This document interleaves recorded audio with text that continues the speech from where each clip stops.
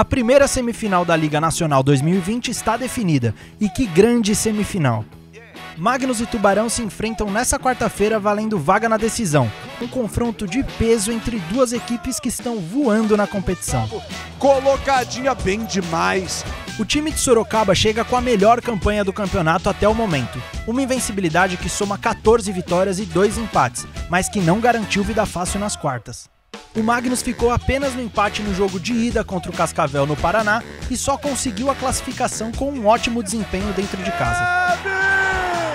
Já o jovem time do Tubarão também está fazendo bonito. Depois de liderar o forte grupo C na primeira fase, os catarinenses passaram por São José e Praia Clube para chegar pela primeira vez em sua história nas semifinais da liga. Neste grande duelo entre experiência e o sangue novo, só existe uma vaga para a final. Tubarão e Magnus. Capítulo 1. Emoção garantida para o fã de futsal.